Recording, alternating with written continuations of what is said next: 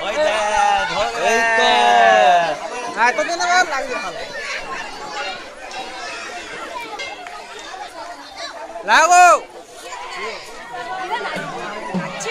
Xe một